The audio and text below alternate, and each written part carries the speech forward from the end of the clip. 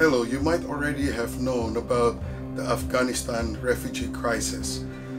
Right now, 17 million people in Afghanistan are requiring humanitarian aid. 700,000 of them are already making their way to the borders of Iran and Pakistan. Just last Monday, 13,000 have made it across to Pakistan. 80% of them are women and children. That's one day. So every day this is happening now, this past week, and such uh, humanitarian crisis is is being created right now at the borders, and um, we need to help them. Food, medical, all these things are in big need right now. So here's what we are planning to do in Pakistan.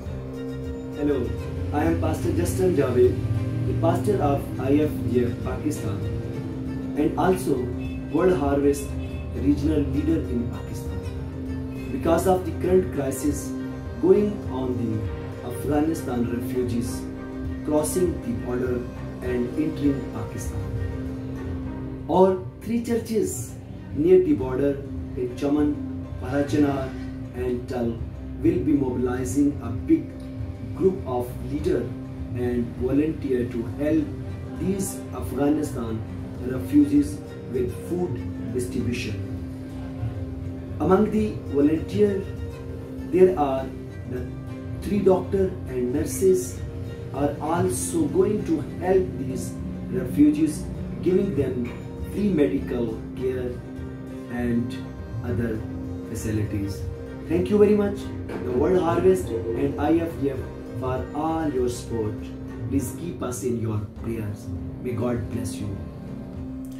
Thank God, World Harvest, we have boots on the ground in these three cities, Chaman, Parachinar, and Tal. All of them are within one to two kilometers from the border of Afghanistan. We have people there, and this Monday, August 23rd, we are ready to start our mission there. We're gonna have tents with doctors and nurses and, and medicines to give free medical aid which is really needed right now and we are also going to do food distribution. So pray pray for us and help us and join us in this mission. Afghanistan needs your help right now